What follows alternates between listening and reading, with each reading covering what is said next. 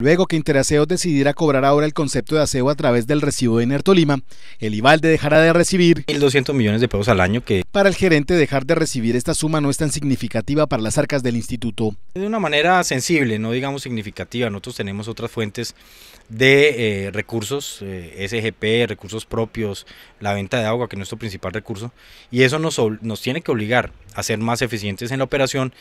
Teniendo en cuenta que el IVAL está pasando por unas condiciones económicas que son precarias. Para el concejal Humberto Quintero, la empresa Interaseo fue un poco desagradecida con la ciudad. Que por lo menos por gratitud y por respeto se manejen bien con Ibagué. Por otro lado, la polémica alianza público-privada tendrá su día definitivo el próximo lunes. Ese día se sabrá si se viabiliza o no la iniciativa de los empresarios antioqueños.